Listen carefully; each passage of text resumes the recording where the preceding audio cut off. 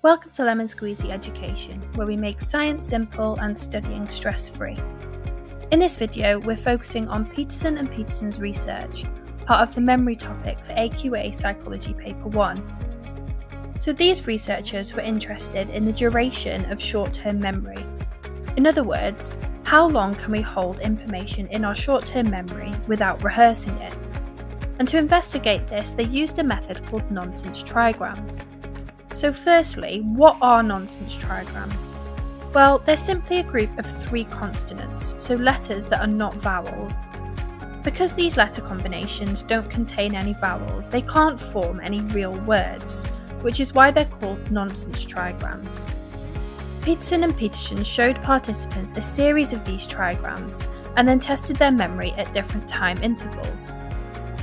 After seeing the trigram, participants had to wait before recalling it. The delay periods were 3, 6, 9, 12, and 18 seconds. During the interval, participants were asked to do a distraction task, such as counting backwards, to prevent them from rehearsing the trigrams. So, what did they find?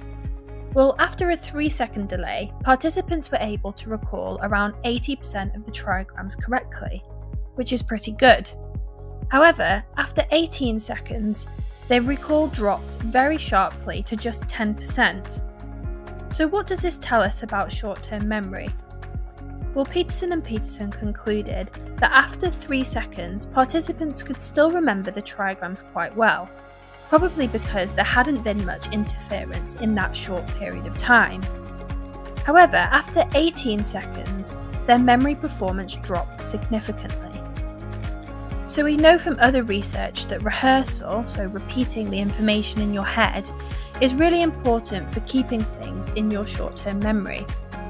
So Peterson and Peterson concluded that the longer the delay between seeing and recalling the trigrams, combined with the distraction task to stop rehearsal, meant that participants couldn't keep the information in their short term memory, causing it to fade quickly. Thank you very much for watching and please like and subscribe for more education related videos and please feel free to check out my educational resources that can assist with your studying.